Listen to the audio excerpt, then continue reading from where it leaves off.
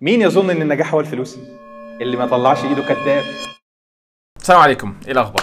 لو كنت في ثانوية عامة ونتيجتك بانت ومحبط أو مش مبسوط أو متضايق من الموضوع جات لك كلية مش عايزها أو ايا كان فالمحاضرة ديت ليك. المحاضرة دي كانت في مكتبة الإسكندرية وأظن إن شاء الله إنها هتفرق جدا جدا جدا مع أي حد كان في ثانوية عامة السنة دي. فلو أنت تعرف حد حد من العيلة القرايب إخواتك أولادك بنات ايا ايا كان الشخص وشايف إن هو متضايق أو مش مبسوط ابعت له الفيديو ده. تمام تمام.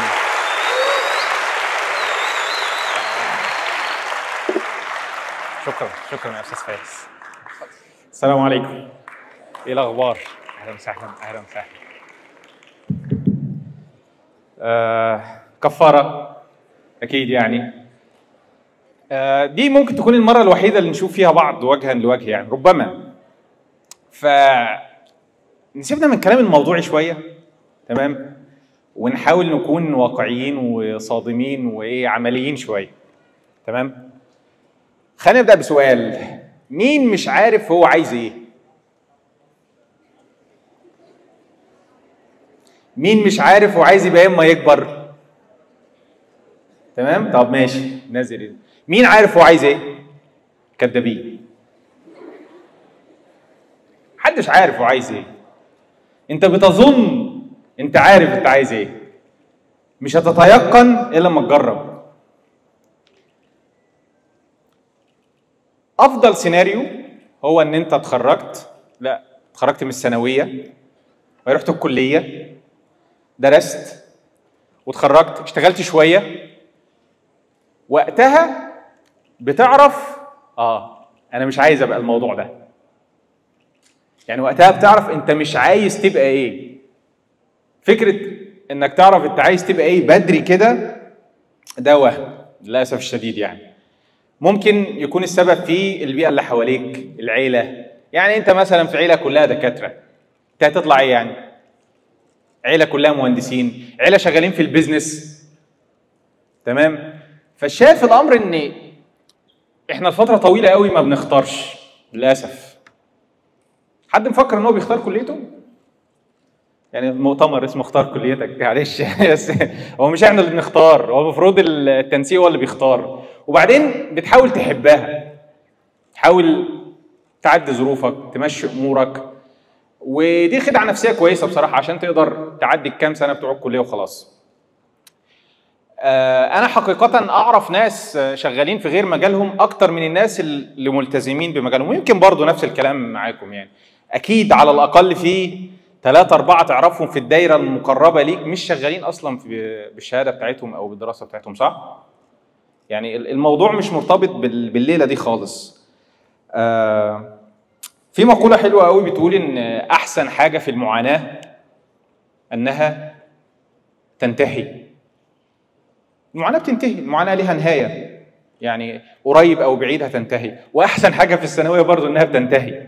يعني أنا ما أظنش إن أنت ممكن تتعرض لضغط في حياتك قد الضغط اللي انت تعرضت له دلوقتي. ليه؟ مش عشان هو ضغط كبير. لا. هي فكرة الخوف من الضبابية. انت مش عارف انت رايح فين أصلا. وبتتأثر بكلام اللي حواليك جدا. لما خلاص بتروح الكلية بيبقى إيه؟ زي عارف انت المثل بتاع وقوع البلا ولا انتظاره؟ انت خلاص جالك البلا فايه خلاص انت استريحت دلوقتي.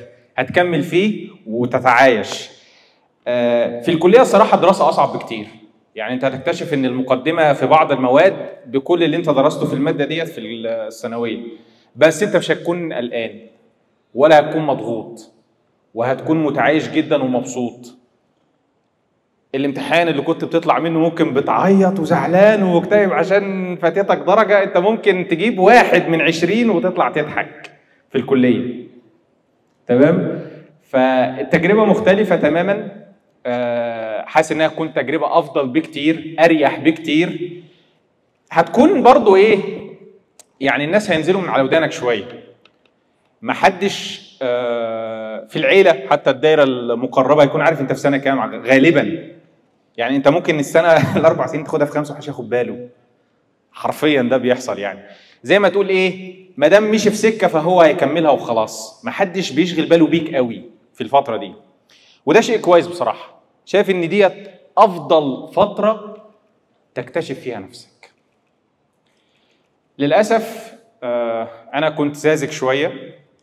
كنت بظن أو بصدق في فكرة المنقذ إن في حد هيجي ياخدك من إيدك كده بص يا ابني ده أفضل حاجة ليك كذا كذا كذا وتعمل كذا كذا كذا ويجنبك كل الوقعات وكل الخبطات اللي ممكن تتعرض ليها. الصوت اختلف شوية؟ آه. فمحدش هيعمل كده للأسف الشديد. أنت بيقع على عاتقك اكتشاف نفسك. تعرف أنت كويس في إيه أنت شاطر في إيه إيه الحاجة اللي بتعملها وما بتحسش إن هي ضغط عليك في حين إن هي بتسبب أزمة كبيرة للناس اللي حواليك. هتلاقيك كل واحد فينا فيه حاجة كده. مش شرط حتى إنها تكون في إطار الدراسة حتى. يعني ممكن يكون حاجة يدوية هاندي وورك مثلا. ممكن يكون حاجة بره أسوار الجامعات والكليات أساسا.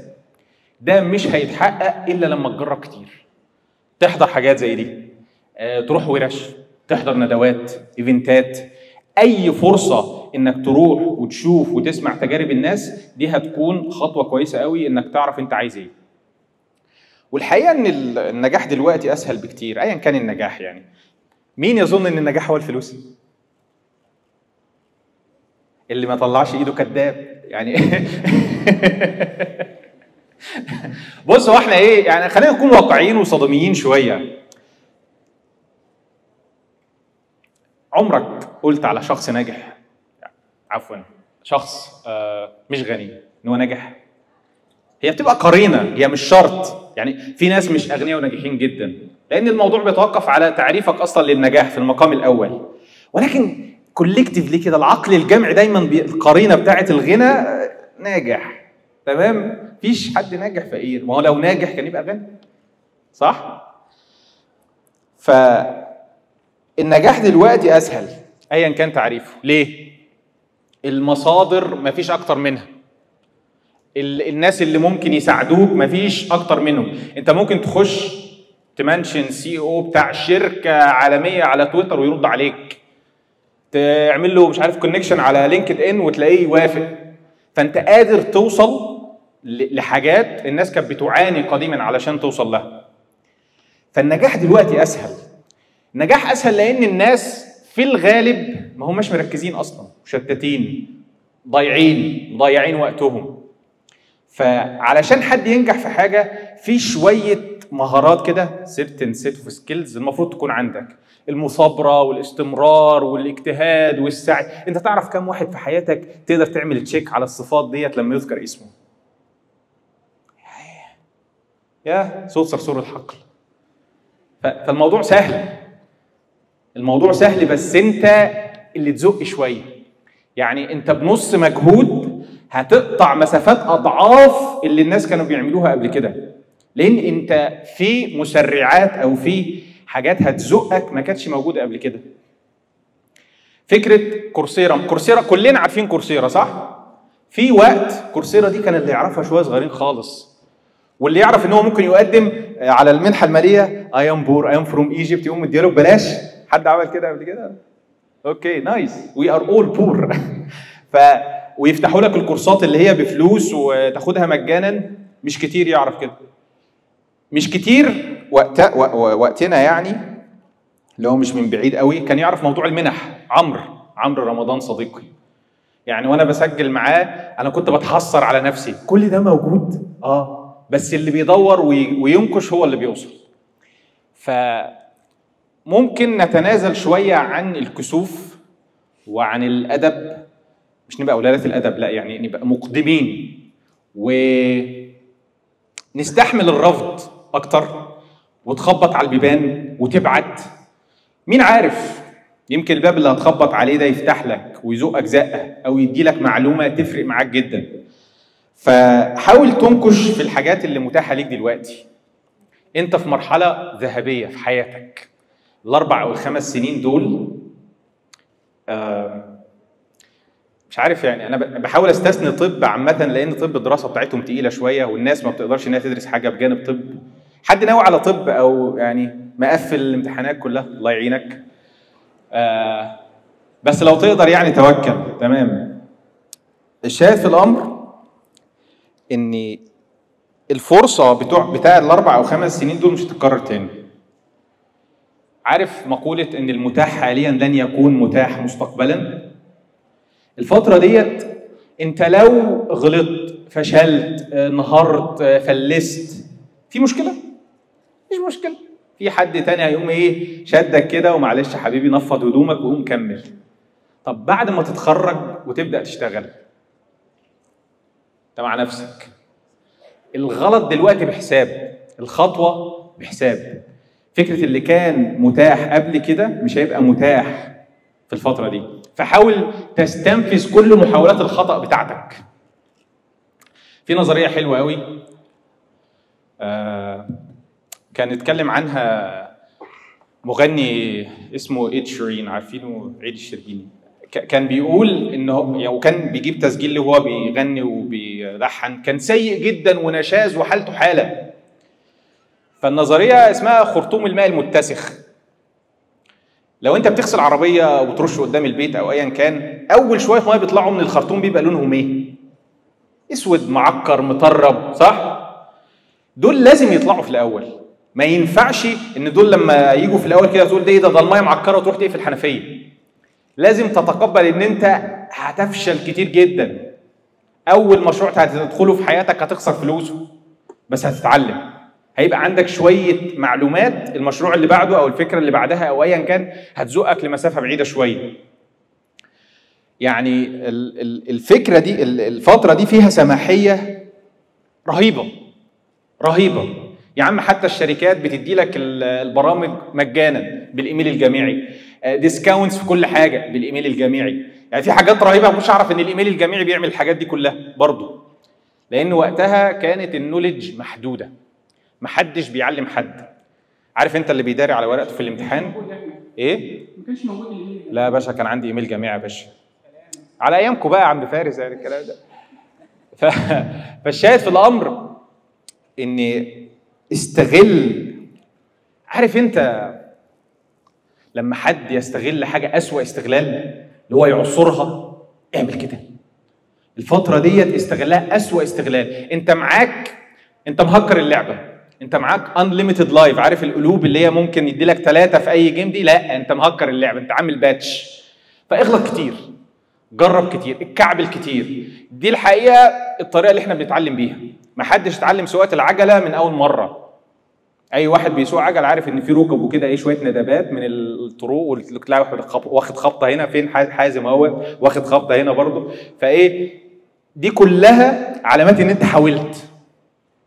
وفي بعض الأحيان حتى لو محاولاتك ديت لم تؤدي إن أنت عملت أي حاجة أصلا فبتشفع لك وبتكون زي resume كده أو CV. لا هات الراجل ده الراجل ده عنده skill مهمة قوي مهمة جدا إنه بيجرب كتير.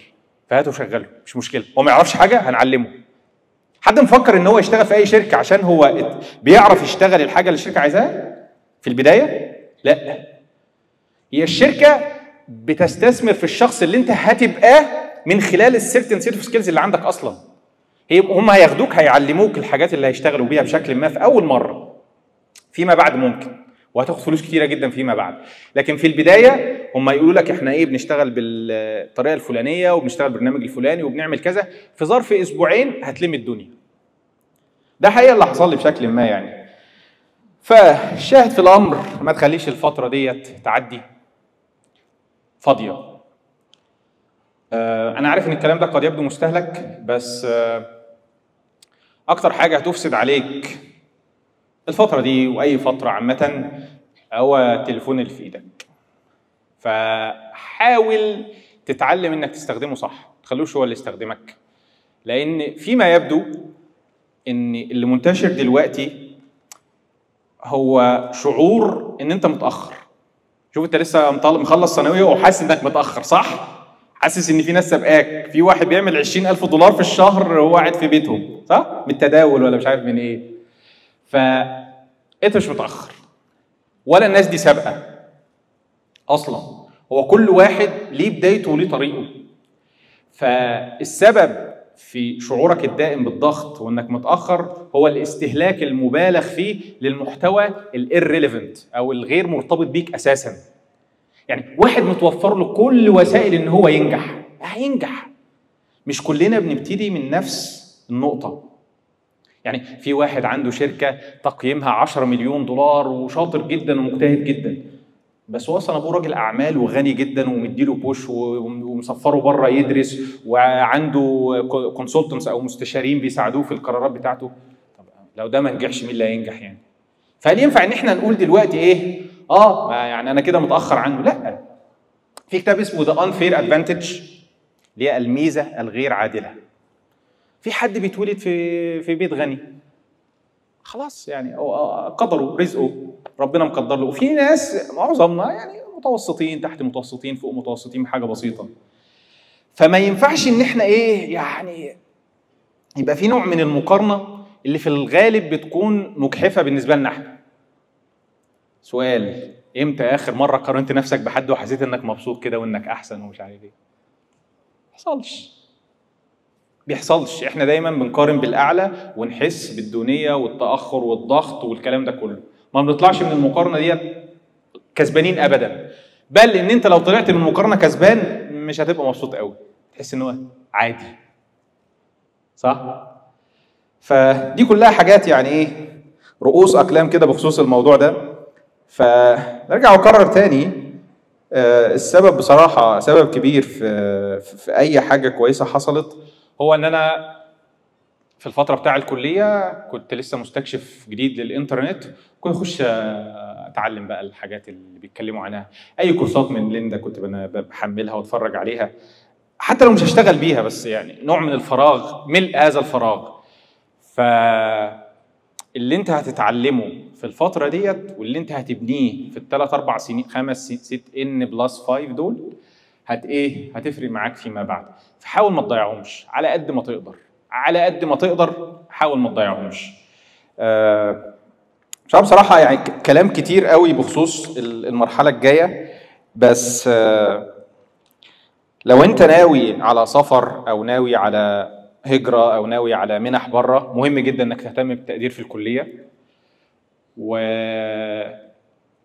لو أنت مش ناوي فحاول تقضي بعض الوقت خارج أسوار الكلية إنك تتعلم حاجة. إن الكلية مش بتعلم كل حاجة للأسف الشديد. برضو أحد ال- الاعتقادات الخاطئة إن الكلية كافية. خالص. الكليه مش كافية بنسبة 25% ايا كانت الكلية. اللي بيفرق هو اللي أنت بتشتغل عليه بره الكلية. فما نحطش اهتمام كبير قوي بالمادة بتاعت الكلية وفقط لابد إن أنت تتوسع خارجها. والشهادة مهمة. في حد ناوي ما يكملش الكلية يا جماعة؟ برضه ده سؤال مهم. آه، ايا كان الحد اللي ناوي إن هو ما يكملش الكلية كمل. شهادة مهمة تفرق معاك في حاجات فيما بعد. كمل وخد الشهادة حتى لو مش هتحضر ايا كان. بس لازم تاخد الشهادة. الشيء الآخر إن في ناس هيحصل لها إحباط. كتير قوي ساعة ما تظهر النتيجة. واحباط أكبر ساعه ما يظهر تنسيق أو ال- الكليات. فنصيحة يعني من أخ صغير آه، ما حدش عارف الخير فين. أنت ممكن يحصل لك حاجة تحس إن هي يعني حياتك وقفت. مفيش الكلام ده. يعني ربنا أرحم بنا من أبونا. هل أبوك وأمك ممكن يعملوا؟ عفوا والدك والدتك زي قرية فابوك وأمك يابا يا يابا بابا وماما ممكن يعملوا حاجة تأذيك تأذيك اللي هي تضايقك وتؤلمك وخلاص. يعني إحنا الكتاكيت الصغنطاطين ولادنا لما بنروح نديهم التطعيم بتاع الشهرين دول ويسخنوا ويعيطوا ورجليهم تورم هل إحنا بنكرههم؟ هل حابين إن إحنا نضايقهم أو نؤلمهم أصلا ده بتبقى أصلا يا عيني على عياطه عايز تعيط معاه. بس ده علشان يجنبوا تعب قدام أو ألم قدام. ف الشاهد في الأمر إن ايا كان الكلية اللي هتجيلك التنسيق اللي هيجيلك يعني وسع صدرك. خد الموضوع ببساطة. مش فارقة كتير. المهم هو أنت. المهم هو أنت. مش مهم المكان اللي هتروحه. سؤال. لو الألمان جم مصر والمصريين راحوا ألمانيا إيه اللي هيحصل؟ أيوه بالظبط. مصر هتبقى ألمانيا وألمانيا هتبقى مصر. صح؟ ليه؟ عشان اللي بيفرق هو الناس. مش مهم المكان اللي أنت اتحطيت فيه أو الكلية اللي جيت لك كله محصل بعضه. قصص كتيرة جدا أنا ليا صديق أظن واحد من أنجح الناس اللي أعرفهم في حياتي. خريج كلية تجارة. كانش بيروح إلا على الامتحانات. بس هو شاطر. هو شاطر وذكي. ما كانش بيروح إلا على الامتحانات. ليه؟ كان عنده شغل بتاع ال family business وهو اللي بيديره وبيروح على الامتحانات كده يقفل الليلة في ال sheet اللي قبل الامتحان وخلاص. اتخرج قدم على اي اف ار اس وسي ام اي وسي اف ان شهادات في كلية تجارة. ما شاء الله دلوقتي يعني آه، بيجيب لنا شوكولاتة معاه وهو جاي من فرنسا. ف فالشاهد في الأمر أي حد هيبص له لك ده فاشل. روحش الكلية واخدها بالعافية. بس دلوقتي واحد من أنجح الناس ال- بالمناسبة هو أول شخص عملت معاه بودكاست أحمد دسوقي. ف فالشاهد في الأمر لسه بدري قوي إنك توصم نفسك. أنت كده فشلت حياتك وقفت اتدمرت خلاص مستقبلي. آه لسه ده التخبيط جاي قدام. فخد الموضوع ببساطة ايا كان الكلية اللي جاية لك. حد فاكر الكلية اللي كانت قبلي كانت إيه؟ هندسه بترول. صح؟ كان نفسي أخش هندسة بترول. فرقت على درجة. درجة واحدة. كانت واخدة من 406 ونص. جايب 405 ونص. حط نفسك مكاني. أنا كنت بجهز الشنطة وأمي بتجهز لي العلب البلاستيك اللي هاخد فيها الأكل ولا مش عارف إيه ونحطه في الفريزر كام ساعة قبل ما نسافر والكلام. خلاص أنا مسافر. فجأة هندسة طنطا خبطة جامدة جدا. ولكن لو رجع بيا الزمن وقدامي إن أنا أجاوب أنا فاكر النقطة اللي خسرتني الدرجة دي هجاوبها غلط لأن اللي حصل ده هو أفضل حاجة كان ممكن تحصل. عارفين أنتوا ال multiverse وال timelines والكلام؟ فأنا لو رجعت غيرت حاجة هنمشي في timeline تاني خالص. لا أنا شايف إن دي أحسن حاجة ممكن تحصل. حصلت بالفعل. ف من المواقف برضو اللي اللي فرقت قوي آه، كنت بتمرن لعبة رياضية معينة فجالي رباط صليبي قعدني في البيت. أزمة. اللي بيمارس رياضة عارف إن الرياضة ديت متنفس قوي جدا. يعني هي عاملة بتوصل لمرحلة الإدمان. دي الحاجة اللي بتريحك. دي الحاجة اللي بتنفس فيها عن ضغوطات اليوم والمذاكرة والأهل وكل الحاجات دي. عارف أنت الصوت لما يبقى فيه وش عالي قوي وبعدين فجأة تأثير الرياضة. قعدت في البيت. وامشي شوية الكعبل ورجليا تتلوي وحاجه بؤس وبطلت رياضة ورحت عملت عملية رباط صليبي و... ودايما الذكرى مؤلمة. الذكرى بالنسبة لي مؤلمة جدا جدا. لحد ما اتخرجت وجيت أقدم في الجيش وخدت إعفاء. يا سلام! سجدت شكر إن أنا جاد رباط صليبي. لأن السنة ديت هي السنة اللي أنا نشطت فيها في عمل الفيديوهات وهي سنة يمكن النقلة النوعية اللي حصلت في الحياة عامة يعني. فأنت ما تعرفش الخير فين. الصورة اللي معمول لها zoom in قوي قوي والتفصيلة الصغيرة اللي أنت شايفها مش هي الصورة كلها. أنت لو هتاخد واحد جاله رباط صليبي وقاعد في البيت ومش عارف إيه واتأخر ويا عيني رجليه بتوجعه والكلام ده صورة مؤذية جدا. اعمل zoom out شوف ال- الكانفاس كله هتلاقي إن دي وصلت لدي وصلت لدي وصلت في النهاية برضو للنقطة في ال timeline اللي إحنا واقفين عندها دلوقتي. فايا كان اللي هيجي لك احمد ربنا وخلي عندك يقين إن ده أفضل حاجة ليك. الله عز وجل يعني أقداره كلها خير. بس إحنا ما عندنا إحنا إحنا محجوب عننا الغيب. ما أنتش عارف المستقبل فيه إيه. اللي يبدو إن هو فشل دلوقتي في قدام قد يبدو أقصى درجات النجاح بالنسبة لك. وتقعد كده مع أصحابك وأنت بتحتسي كوب القهوة وتقول آه والله يا أخي أيام. فخلي الكانفاس بتاعك أو خلي الزاوية بتاعتك واسعة. ما تبصش للحاجة اللي هتحصل حالا. ايا كان المجموع بتاعك ايا كان الكلية اللي جيت لك مش فارقة والله لأنك أصلا مش عارف أنت عايز إيه لسه. أنت مش عارف أنت عايز إيه. أنت بتظن إنك عارف. وأنا أتحدى أي حد عشر دقايق معاه كام سؤال هيطلع في النهاية إن ده رأي الوالد رأي الوالدة آه، رأي ال- ال- البيئة اللي حواليه العيلة المجتمع علشان دي آه، بتجيب وظيفة فيها مبلغ أو مرتب عالي دلوقتي. بس هل أنت أنت أنت من جواك عايز الحاجة دي؟ الإجابة أنت مش عارف. مش اي أو لأ أنت مش عارف. فتقبل فكرة الجهل المؤقت ده وحاول تقلله مع الوقت. قلله إزاي؟ إنك تحاول تستكشف نفسك. لف اللف ونرجع نفس النقطة تاني. استكشف إزاي؟ إنك تتعلم كتير وتجرب أكتر. وإنك ما تستناش لما تخلص تعليم عشان تجرب. الأولى إنك تجرب الأول وبعدين تروح تتعلم. صح؟ انه أفضل؟ واحد تنه يدرس السباكة خمس سنين وبعدين راح اشتغل سباك ولا واحد اشتغل سباك خمس سنين وبعدين راح يدرس الأسس العلمية اللي اتبنى عليها الحاجات اللي هو بيطبقها بالفعل؟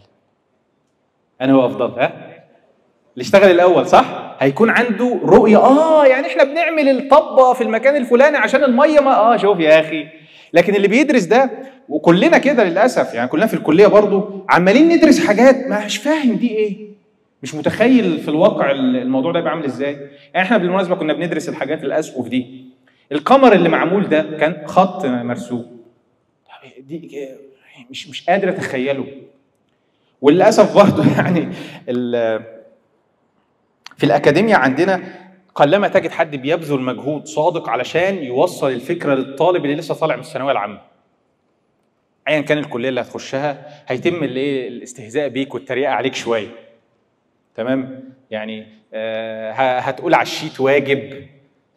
يعني وحاجات كده إيه هيقعدوا يضحكوا عليك شوية بس عادي. فالحمد لله إن في مصادر دلوقتي بره تقدر تتعلم منها زي ما أنت عايز. خش على أي منصة كورسات فر. شوف إيه اللي يلفت انتباهك اللي يشد نظرك.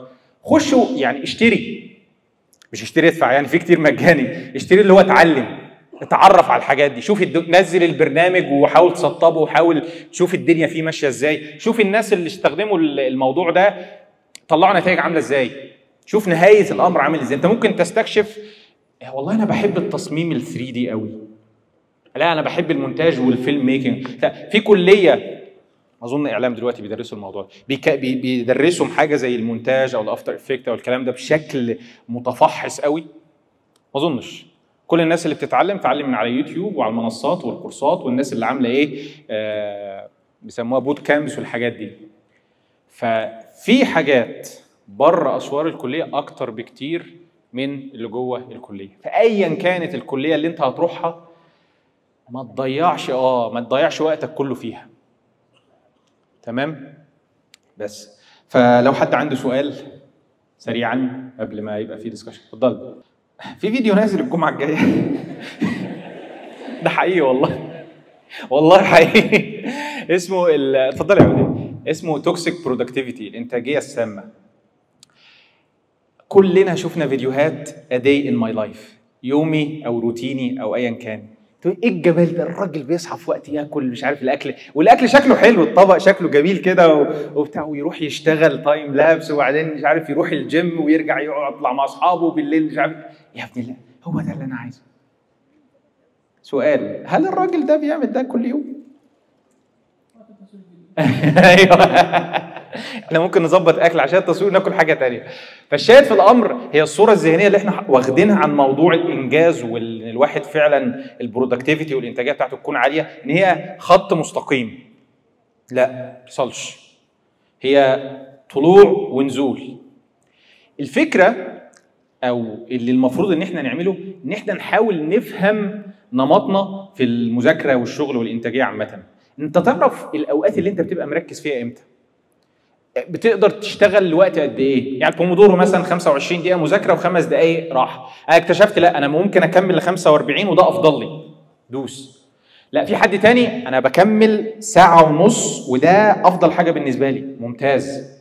في واحد لا أنا ربع ساعة ومشتت. ماشي خليها 20 دقيقة بس مش 25 تمام؟ فده لن يتاتى إلا لو في نوع من التتبع. أنت إزاي هتقدر تصيب هدف وأنت مش حاطط البولز أي قدامك؟ فأنت في البداية لازم تكون حاطط مستهدفات اللي هو أنا النهارده عايز أشتغل أربع ساعات تمام؟ فده المستهدف بتاعي. والله فطرت ومش عارف إيه واشتغلت ساعتين وفي تايمر أو في ساعة أو بحسب الموضوع بدقة جدا. على نهاية اليوم اكتشفت إن أنا ذاكرت النهارده ست ساعات مش أربعة بس. طب نقعد بقى كده ليه؟ إيه اللي حصل؟ إيه المميز النهارده؟ آه أنا نمت بدري امبارح فقمت فايق. فده أثر معايا جدا في التركيز فانجزت فمزاجي كان رايق. وبعدين شربت فنجان قهوة في الوقت الفلاني. الحاجات دي أنت مش تعرفها عن نفسك إلا لما تبدأ تكتب عامة. ده يودينا للتدوين. يعني لو بتدون ده أنت أنت أنت أنت حرفيا بادئ في رحلة عظيمة لاستكشاف الذات. دون. أنا النهارده متضايق جدا. ليه؟ عشان السرير اللي كان في الفندق كان ضيق وما نمتش كويس فقايم مش مبسوط. يا فارس تمام؟ فالشاهد في الأمر أنت لازم تعرف إيه اللي بيضايقك وإيه اللي بيبسطك. إيه اللي بيخليك منجز وشاطر وشطور وبتعمل الواجب اللي عليك وإيه اللي بيخليك كسلان حتى وأنت عندك الرغبة. يعني أنا متأكد إن أنت في أوقات معينة تكوني عايزة تقومي تذاكري بس مش قادرة. مفيش دماغ. تمام؟ أنا ميال أكتر لا أنا عايز أتفرج على مسلسل دلوقتي. ففي إيه؟ صراع داخلي كده أتفرج على مسلسل ولا نذاكر مين اللي بيكسب؟ مسلسل أكيد أكيد يعني. فالشاهد إن أنت محتاج تفهم ده وفي بعض الأحيان هيكون أفضل حاجة تعملها إنك تتفرج على مسلسل فعلا مش إنك تذاكر. بس تكون عارف ليه. اتفضل يا باشا. من أهم الحاجات اللي أنا بحاول يعني بشكل شخصي إن أنا عشان ما يبقاش في ان down حاجتين صاحب ناس نشطه في المجال اللي أنت مهتميه بيه عشان يبقى دايما عندي حافز إن في activity شغاله وفي ناس بتشتغل وانت كمان بتشتغلي. النقطة الثانية إن أنت تحضري أنشطة ايا كان نوع النشاط ده إيه في المجال اللي أنت مهتمية بيه سواء كان مجال اهتمامك الشخصي أو مجال اهتمامك العلمي والأكاديمي بمعنى لما أروح مؤتمر بقابل فيه سبيكرز مش مش متاحين إن أنا أقابلهم أوقات كتير. أنا أنا أنا بستخدم ده على المستوى الشخصي يمكن دي أول مرة أقولها إن أكبر وقت ببقى عندي دافع إن أنا أعمل حاجة لو يعني إذا اجاز إن أنا عملت حاجة يعني إن أنا بعد برجع من أي مؤتمر في notes كده ببقى notes في أسماء معينة ببقى عامل عليها دوائر في topics في الجدول ببقى مثلا أنا كنت شايف إن ال topic دي أو ال presentation اللي قالها الدكتور الفلاني من جامعة كذا حاجة جديدة ومعلومات جديدة تعمل عليها search أكتر. كل الحاجات دي أنت هتخليك بشكل مستمر. إن شاء الله على طول ما يحصلش ده. عظيم. مشاركة رائعة يا أستاذ فارس والله. فنبدأ في التدوين يا جماعة. اشتروا ال notebook بتاعتنا عاملين notebook كده حلو.